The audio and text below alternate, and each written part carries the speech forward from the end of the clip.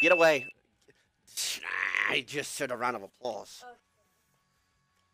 So yeah,